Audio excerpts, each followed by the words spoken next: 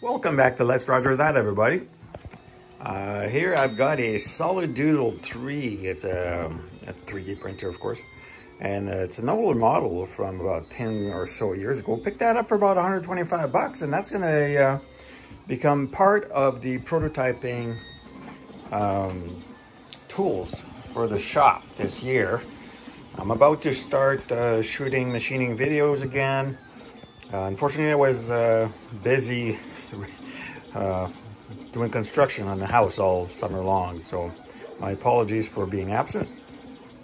But you'll find that I've got a lot of uh, really cool projects coming up this year, and uh, this is going to be one of the things helping me to get these on the go.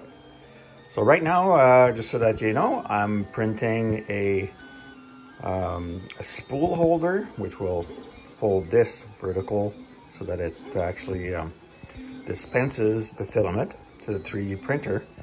It uh, So rather than buy some of the accessories, I'm simply making some.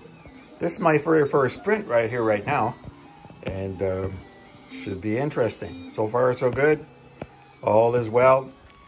There you see it. I've made my first couple of projects already. Uh, just a couple days into this thing, I've made myself a spool holder, spindle holder slash thing. And then of course a um, dispenser rack.